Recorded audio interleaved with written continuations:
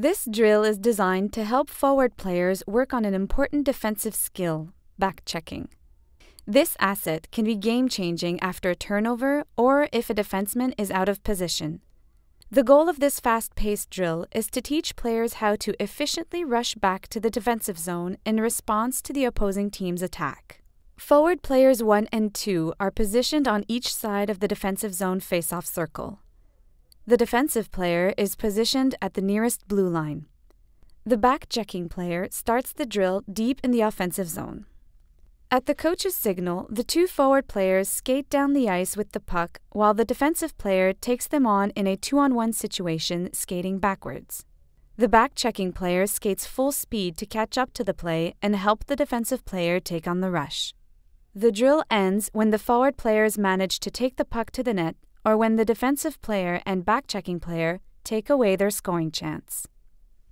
As the back checking player, it is crucial that you keep your head on a swivel at all times.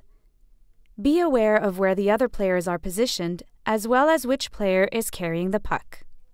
If you are a fast player, this is where your skating stride will come in handy. You must push as hard and as fast as you can to catch up to the play in front of you.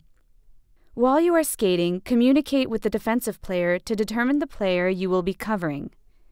You do not want two players covering the same player, as this would leave one player alone and free to take the puck to the net.